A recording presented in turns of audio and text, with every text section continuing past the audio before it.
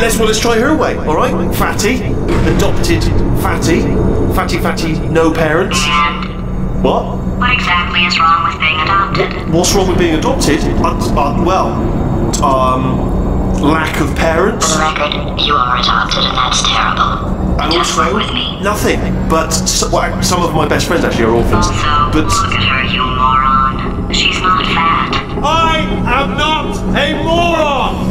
just do the test. Just do the test.